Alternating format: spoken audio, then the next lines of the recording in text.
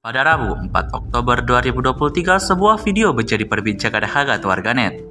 Pasalnya dalam video tersebut memperlihatkan detik-detik kerja tempur PT-40 Rusia yang melanjutkan perburuan terhadap kendaraan militer dan perlengkapan musuh Ukraina lainnya. Angkatan bersenjata Rusia benar-benar tak membiarkan pasukan lawannya untuk bisa berkeliaran dengan bebas.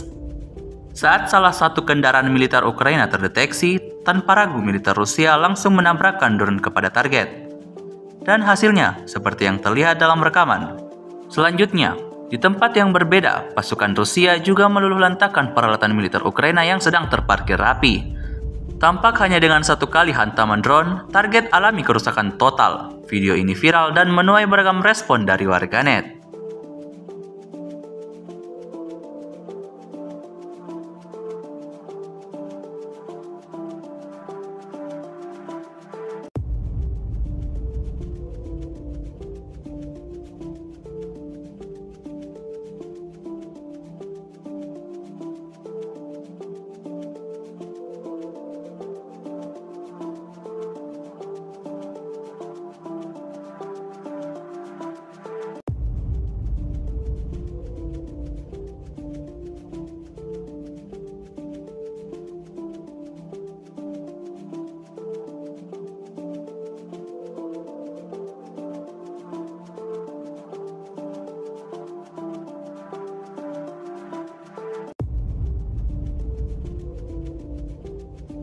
Download Tribun X sekarang.